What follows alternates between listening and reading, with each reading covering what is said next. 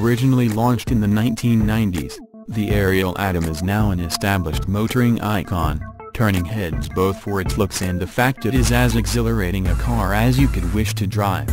Two seats sit within the Atom's intricate steel latticework, and in this case the looks don't deceive. There are no creature comforts to speak of, but performance is stunning and the handling sharp, whichever model you choose. While an optional windscreen makes it possible to drive without a helmet, that's all the protection you'll get from the outside world, and in the right conditions it's better for it.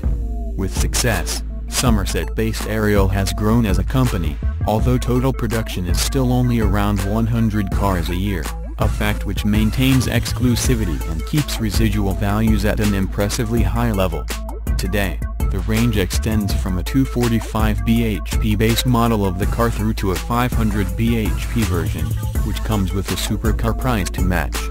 Without exception, each model offers a uniquely thrilling driving experience that is, at its best, unmatched for thrills and drawness the sight of a superbike.